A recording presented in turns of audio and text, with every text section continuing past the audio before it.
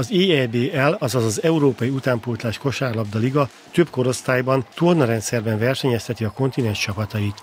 A sorozat népszerűségét jelzi, hogy 30 európai ország képviselői neveztek a 2018-2019-es szezonra.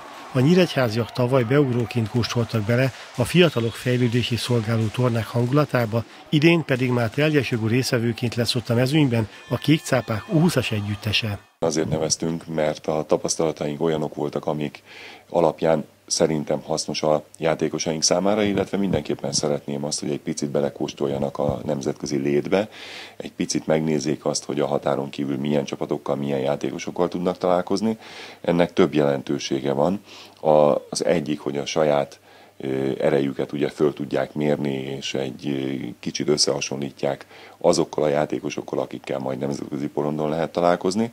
A másik pedig az, hogy azért egy picit mégiscsak szokjuk azt a légkört, ami a határon kívül található, és hát ha egy picit hamarabb hozzászoknak a felnőtt vagy úgymond profikos állabdázáshoz, vagy esetleg jobban kedvet kaphatnak a játékosok.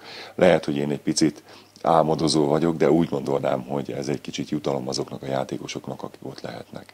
Bár a korosztály felső határa 20 év, a nyíregyháziak 16 és 19 év közötti kosarasokkal utaztak el az első Kolozsvári tornára. A csapat az az, az U20-as csapat lesz, amelyik a Blue Sharks mérkőzések előtt az U20-as bajnokságot is szokta játszani. Az ellenfeleink pedig ugye az első találkozón a Szolnoki Sportcentrum csapata lesz, majd két olasz csapattal fogunk találkozni, és az utolsó mérkőzés pedig a helyi, a Kluj Napuka csapata lesz.